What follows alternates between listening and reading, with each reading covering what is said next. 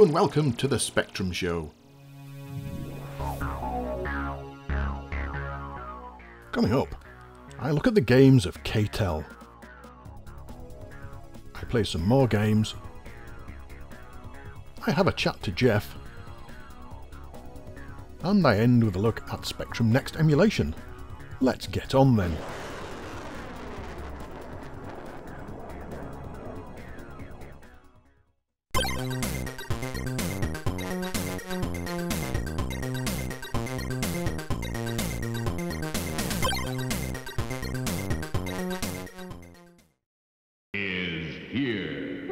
K-Tel's Bigfoot is here, and far from frightening, it can be great fun. You can make foot.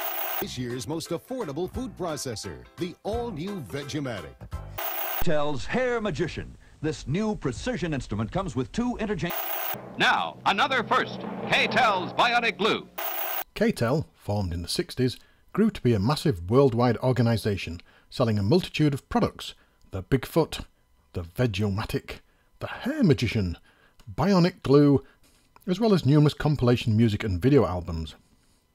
Based in Winnipeg, USA, they spread across the world from Australia to the UK, but only just survived the dot-com crash of 1988. So how did this company get to selling ZX Spectrum games? Who knows? There's no mention of it anywhere on the internet, that I can find at least, and their own website is in maintenance mode. Somehow though, someone thought it would be good to take the music compilation model and stick it into computer games, setting up a new arm of the company called K-Tel International. Announcements were made in magazines around May 1983 that K-Tel were to produce compilations for the ZX Spectrum, releasing three tapes containing six games. They also announced a deal with DK Tronics to resell 15 of their titles. The deal, worth around £150,000, would see K-Tel selling games such as 3D Tanks and Dictator under their own label, or in bundles. In 1984 they expanded from their licensing model and moved into selling their own compilations called Double Siders. Each tape would contain two games from various companies and be the first of many. K-Tel promised television advertisements along with media and press advertising to greatly improve sales. The first batch of games duly arrived, and the first one was It's Only Rock and Roll coupled with Tomb of Dracula. It's Only Rock and Roll was written by Kevin Smith, who later went on to write Wild Bunch for Firebirds, and it's a management game. You manage a band and try to obtain stardom and fame. Starting with 3,102, presumably pounds, but it doesn't say. Your aim is to make 1 million and collect three status symbols, whatever that may be. On starting, you are given several options, including writing a song, getting your status, trying to go on tour, and trying to make a record. If you choose to write a song, the program will produce some random lyrics that at times can be funny and at other times slightly worrying.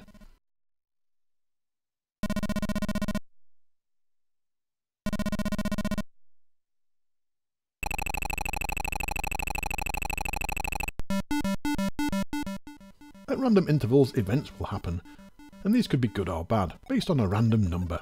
Ah, I hate random number games. Once you have a song or two, you can try to go on tour, but this may fail if, unless you've got other things in place first. You can't make a record until you've got a contract, so you just have to keep plugging away trying different things. You will need a manager, of course, and they will take a certain percent of anything you earn.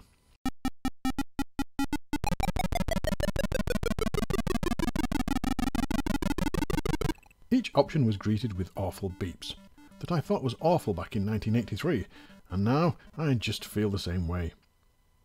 Taking a rest now and again is required, and if the random number goes your way, positive things may happen like John Peel may like one of your songs. Starting a fan club should make money, enough to go on tour possibly, but again you have to pay out for this. That is if you don't die of boredom first. Not a brilliant game, and probably an average typing. Along with this came Tomb of Dracula, originally by Felix Software, and advertised separately before K-Tel grabbed it. This game is, well, odd.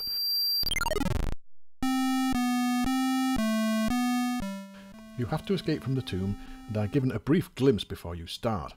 There are seven silver stakes to use on your journey, and a treasure to find if you feel the urge. When shown the tomb I thought there was a bug in the game, it was just a load of ASCII characters. Looking at the instructions though, these actually represent things like pits, zombies and stairs. Surely the use of user-definable graphics at this point would have improved things. As you move, a very simple view of the room is shown, followed by anything that's in it.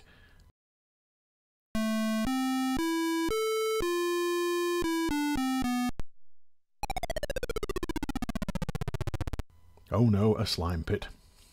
Depending on the random number used to generate the tomb map, you may have to weave about, or, in one instance like me, just carry on moving north all the way. It's a dull plod through random numbers, and it's slightly exciting for about ooh, 10 seconds. Moving on then, and the next tape included Battle of the Toothpaste Tubes and Castle Colditz. Battle of the Toothpaste Tubes is a kind of shoot 'em up.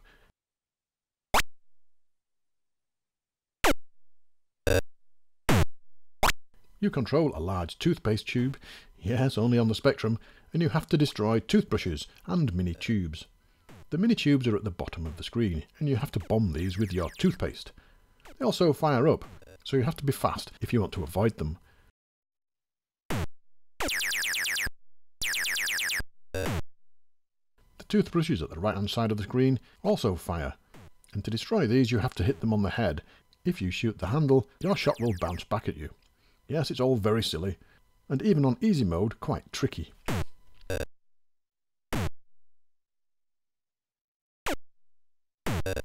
Not something I would go back to though. Colditz is another game by Felix Software and also advertised separately. It's described as a text adventure and your aim is to escape and grab as much treasure as you can. It's a standard text effort, very simple room descriptions and simple commands. As you plod about there are various things lying about that you can collect, but because the text is very sparse you don't get any kind of enthusiasm and the game just becomes boring. Let's move on then to their third release, Alien Swarm and Arena. Alien Swarm is a shoot 'em up, originally released by Titan Productions the year before.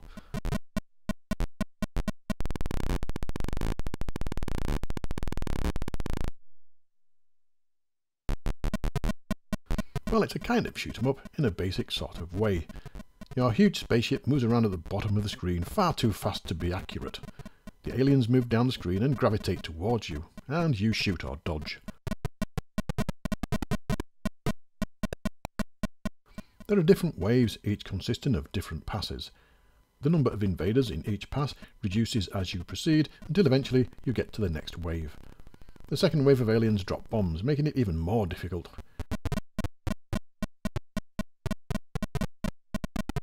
It's all simple stuff though, and fun for about 5 minutes.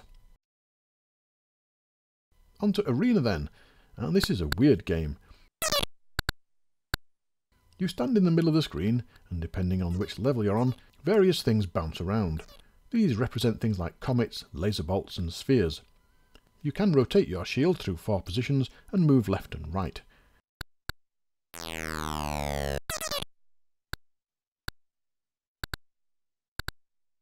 And the object is you have to deflect the objects back. During the game the walls move slowly in, and are deadly to touch. And to put them back to the edge of the screen, you have to score 100 points. A nice idea, a bit dull and repetitive though. These three releases all received less than enthusiastic responses from the magazines, but I do like some of the artwork. Who is this guy? And I do like a good model. And what about this? It looks a bit like Robocop. Moving on, the final compilation, separate from the first three, arrived around June 1984. Diffusion and Worms, both by Lindenhurst Limited, and both previously released the year before.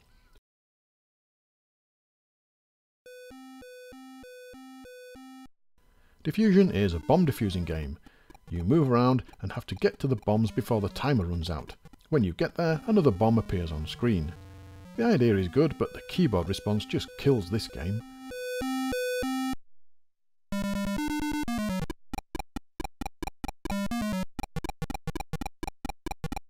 Everything works fine until you collide with the bomb, and then one or more of the direction keys don't work, and this means the chasing boot, yes I know, a sentient boot, anyway, the boot will get you and kill you. I then realise that you can only move in squares you haven't used before, but that doesn't improve things really, it's still frustrating. The chasing boot always catches you. You can't avoid it, it's because it just homes in on your position.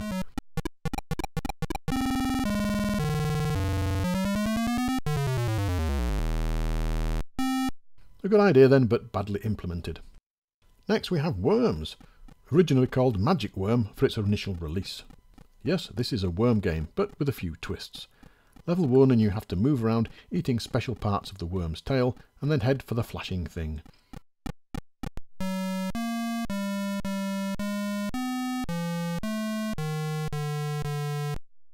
Level 2 and you have to collect the flowers but avoid the rocks.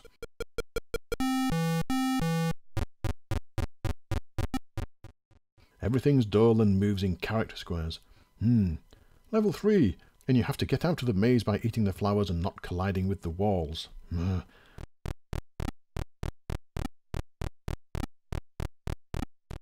Level 4, and oh, I can't be bothered anymore. It's a nice twist on the standard Snake game, but it looks like a type-in and plays like one too. The key response is terrible. Oh well. Things were not going to plan for K-Tel, Sales were not good, and the deal with DK Tronics seems to have dried up and vanished. They decided to try something else. They changed their name to Frontrunner and claimed it was to release software they had made themselves, which was a bit of a lie. They began to advertise different games though, and if this was a ploy to make people think that the quality would change and that there was no connection with K-Tel, well, it just didn't work. Under Frontrunner, they released three titles, all by other companies. There was Space Professor by Pinksoft, an educational title involving shooting numbers that are not the answer.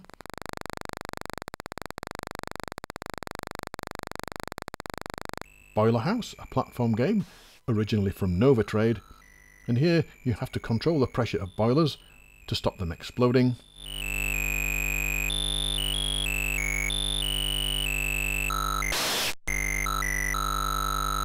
And probably the best known one, Boulder Dash, by First Star Software. Yes, you know the score here. Run around collecting diamonds. After this, K-Tel never released another game on the K-Tel label or Frontrunner label. And the last we hear of K-Tel International is in March 1985. They announced they would be suspending funding for the Frontrunner label and then vanished.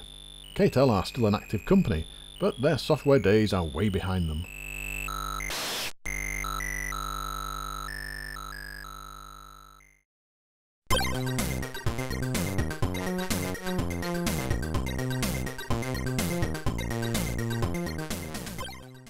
This is Street Hawk, released by Ocean Software in 1985, and this game has an interesting history, which we'll briefly touch on.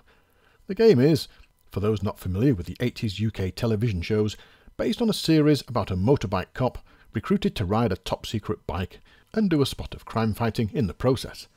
Ocean grabbed the rights and set about producing a game, advertising it in magazines. Development was delayed though, and complaints started to flood in. Crash Magazine were advertising and selling their game via mail order and were duly annoyed, so much so that they offered a replacement game for those that had ordered it.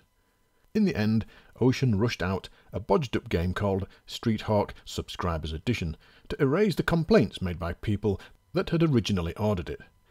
This game starts with helicopters. Yeah, I thought the series was about motorbikes. Next, we have to shoot these helicopters as they fly up the screen for some reason, All done with a tinny sound effect. And each time you hit one, the green bar goes up at the bottom. Not sure why, I think it's something to do with fuel or shields. This is terrible. Next we come to what I thought was a Joust clone, until the game started. And then it was actually a Joust clone.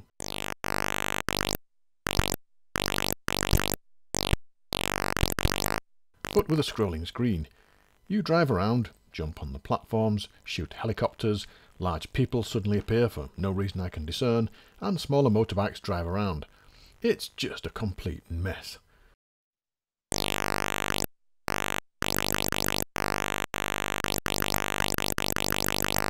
Once all of the enemies have been removed, it's back to the helicopter shooting section again. Very, very poor. The next year, Ocean had a new game written by Paul Owens, and finally released it in 1986. Well, at least the intro is better. No helicopters here. Once into the game and we get a vertical scrolling drive and shooting game, a bit like Spy Hunter. It takes ages to get up to speed, during which time you can get rammed by other cars or shot by the villains. Once at speed you have to navigate up the road, avoid cars and shoot the enemy. The enemy cars are the ones shooting back at you.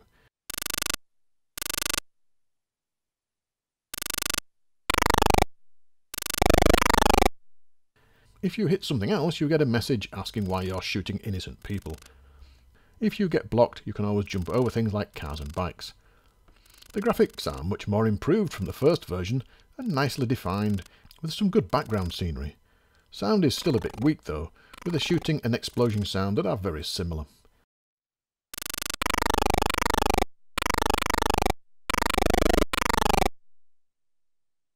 You weave in and out of the traffic, and hopefully, if you don't get boxed in or lose all of your energy, you get to the next level.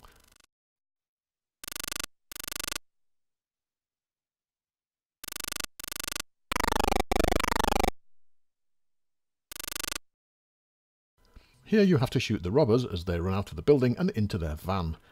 This level would be easy, but the coders decided that every shot, your gun sight would return back to the bottom of the screen again. This means you have to keep moving up to hit the men. Once complete, it's back on the road for another session of dodging and shooting. And that's about it, really.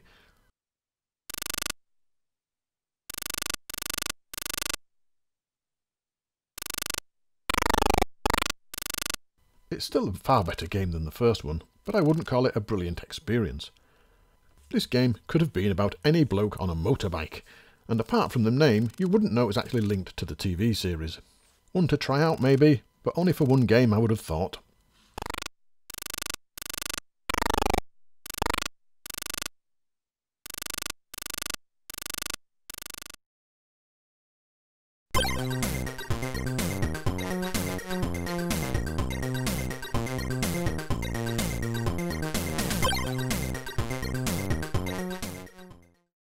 So today we're going to talk about games that are going for silly prices on eBay. And this was a Patreon question that got sent to Paul. It certainly was, and there's quite a lot of games, and there's quite a lot of reasons why they go for stupid prices. It's it's not all the same reason. It's it's not because of one particular thing. So, have you got any in mind, or sh- shall I kick off with some of the things, some of the ones that I've noticed? The ones I always seem to notice are the Ultimate ones. So the Ultimate Collection, which I have. Oh, and I've got a confession on that.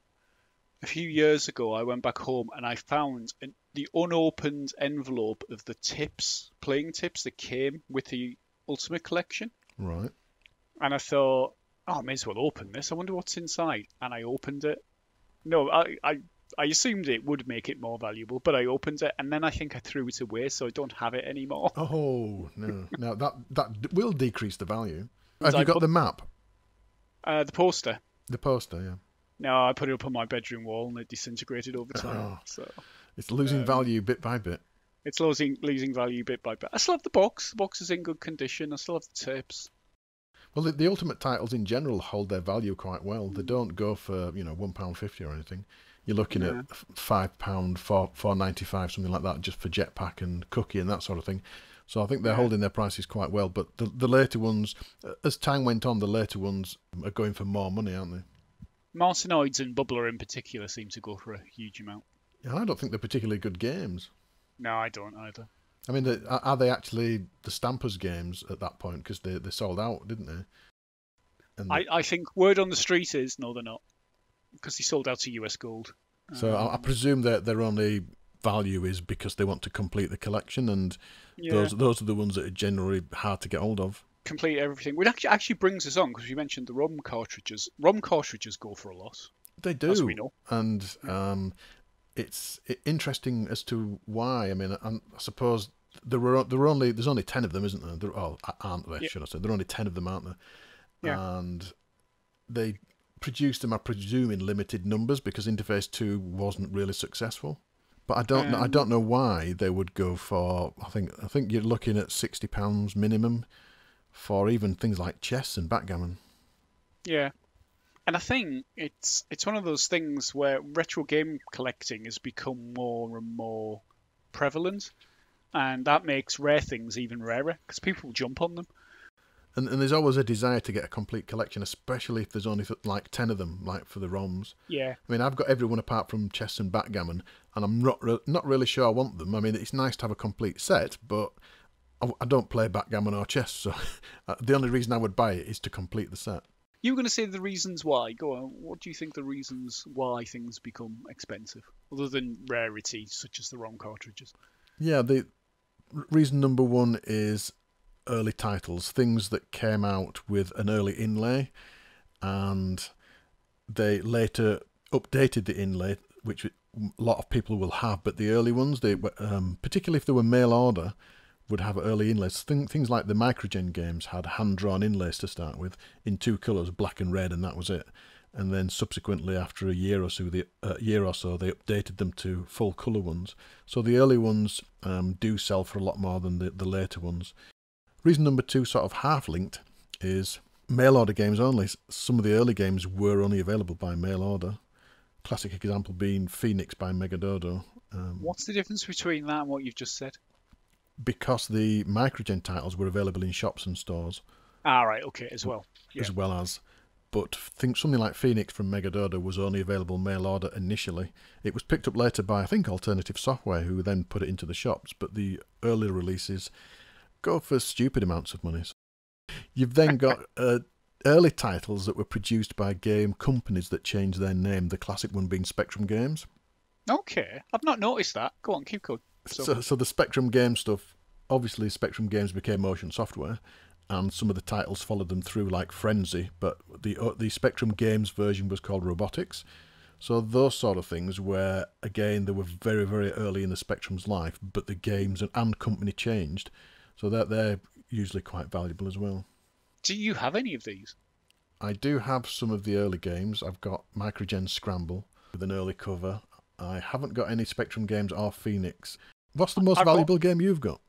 Probably think? the Ultimate Collection. I can't think of anything else that's particularly valuable. I've, I have I have a complete set of the Ultimate ROM cartridges as well. Well, there you go. That's that's about um, three hundred quid there, isn't it? They've definitely increased in price, haven't they? yes. Um,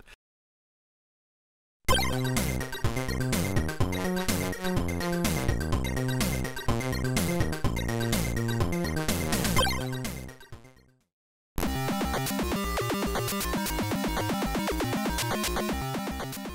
is Coloco, released in 2020 by Tuxedo Games.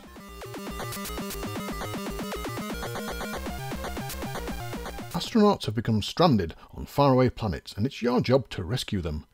The job is difficult though, as there's gravity to contend with.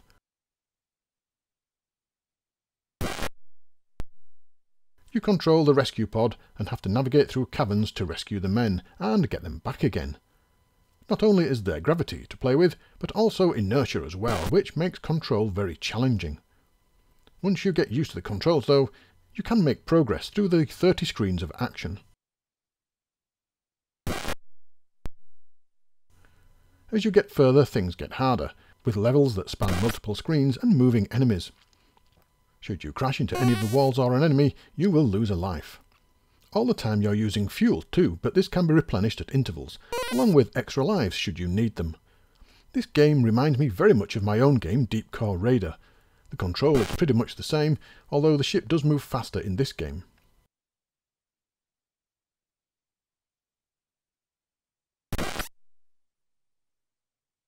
Sound is well used and everything looks really nice. The game uses the Mojon Twins Churrera engine, and if you are looking for a challenge, go and grab this one.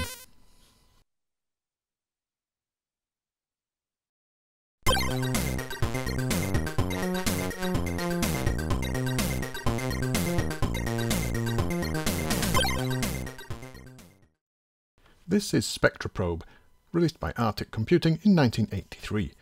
Now many websites say that this is a 48k game, but it works just fine in 16k, and the inlay also mentions 16k.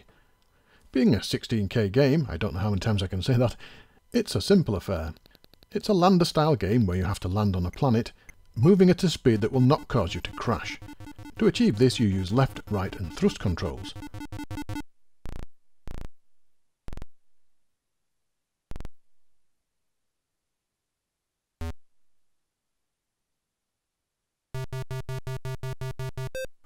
You are dropped randomly from the mothership and have two options. First, you can grab some fuel by landing on it and then get to the platform to move to the next planet, or you can go straight for the platform. The thrust control works differently than expected though. Instead of continually having to thrust to maintain your descent speed, You press it a few times until the speed drops below 10 and leave it there. You don't accelerate once you obtain the right speed.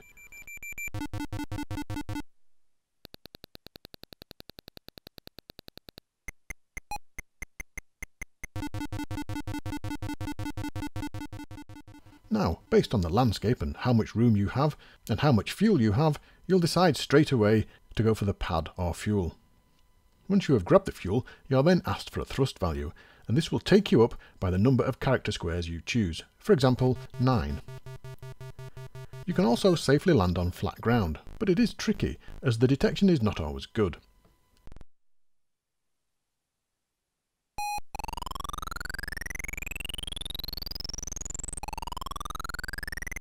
Each new planet does not refill your fuel either, so games will end quickly as there is simply not enough fuel to sustain a lengthy game.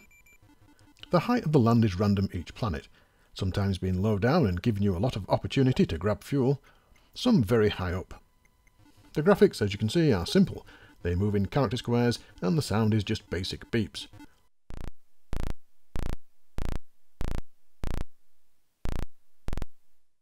It's not actually a bad game for all that. I enjoyed smashing into the planet's surface again and again. If you are going to play it though, use the TZX file, which gives you instructions, or remember what the keys are. They are 5 and 8 for left and right, and Y for thrust. These are not mentioned on the inlay or any instructions online.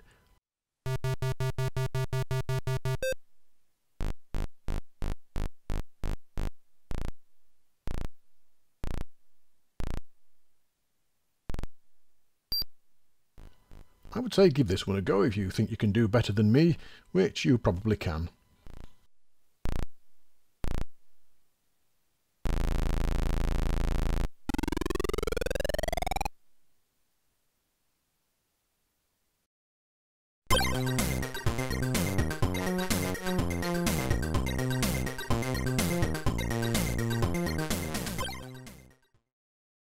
The ZX Spectrum Next was a massive success on Kickstarter, and the second wave smashed through the £1 million barrier in days. Anyone who knows the machine knows it's a fantastic computer, and anyone who has backed the new campaign will be in for a real treat. If you haven't got a machine or aren't planning on one, you can experience the Next for yourself. There's an emulator that will allow you to do this, but, like all emulators, you don't get the feel for the machine itself. C-Spect is a very capable emulator, but it's tricky to set up, if you follow these guidelines, you should have your Spectrum Next emulation running smoothly and be able to enjoy some of the free games. The things you will need are the following downloads. The C-Spect emulator itself, OpenAL to provide sound, an SD card image so you can boot, and some games. The first thing you need to do is extract all of the files from the C-Spect zip file into a folder of your choice.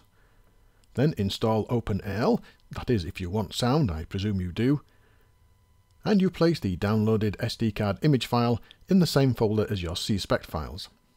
Now, to get C-Spect booting easily, it's best to create a batch file. Mine is called cspect.bat, so I can remember it. Now, add the following lines to it, which sets a few of the many command line options and also points to the name of your SD image file. So for example, my batch file looks like this. So obviously my image file is called cspect.image. The minus TV command turns off scan lines because I don't like them. If you don't want to install the sound drivers for whatever reason, you just add the minus sound command and all will be well. CSpect has many such settings that you can use during the launch process and these include setting the speed, the screen size and joystick options. All of the options can be found in the readme.txt file in the CSpect folder. Now if you double click the batch file you've just created, the Spectrum Next emulator should boot up and you're ready to go. Pressing space will enter the file browser and you can go and load a few things up. Now the tricky part, adding your own games. The SD image is the default boot image, so to be able to get new games onto it, you need to be able to access it. And one of the simplest and quickest ways I found is using an image mounting tool, such as OFS Mount. If you download this, and run it, you'll be asked to select an image file. Select your boot image file, and remember to untick Read Only, and clicking Mount will mount this into your operating system. And now you can treat it much like a USB pen drive. If you download some games from the Spectrum Next Games website, you can simply drag these into the folder Games slash Next, and it's recommended you put each game in its own folder for easy navigation. One thing to note, the games that you add will not appear in alphabetical order. That's not how SD cards work. The files and games will be listed in the order they were put in. Once complete, you must dismount the image. You can then go back into CSpect, boot as normal, go into the browser, and your game should be there, ready to play. Now you can enjoy the Spectrum Next on your home computer, although it is a far better experience with the real thing.